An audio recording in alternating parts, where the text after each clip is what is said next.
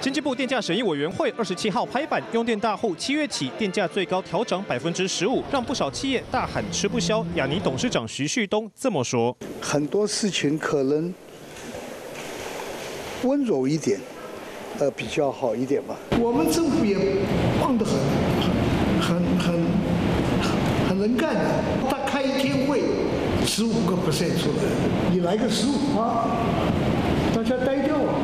是在某个角度讲，我们政府也它有魄力，反映一部分的成本而已。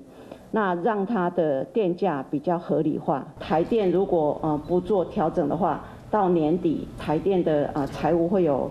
呃，非常大的一个危机。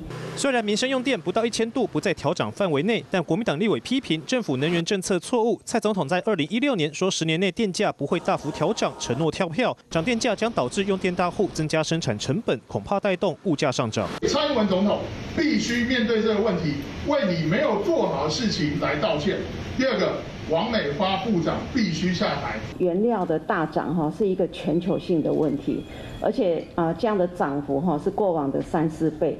那所以啊不管好在所有的国家里面有没有用核能，他们的电价涨得比台湾还要更多。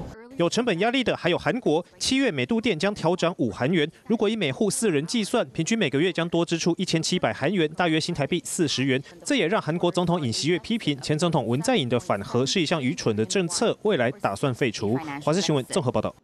嗨，我是庄宇杰，想要看到更多的新闻内容吗？赶快订阅华视新闻的 YouTube 频道，并且开启小铃铛，跟着宇杰一起看新闻吧。